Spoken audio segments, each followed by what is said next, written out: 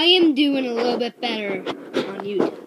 Um, I have reached um three subscribers, and I started last week. Sounds like a slam dunk.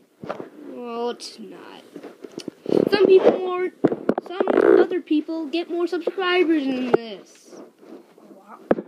Yeah, like their first video. Then they get like a whole bunch of subscribers. What the heck is wrong with that? Do you guys like my videos? Do you guys like them? I'll poke your eyes out again, even though I said it was getting a little old. Yeah.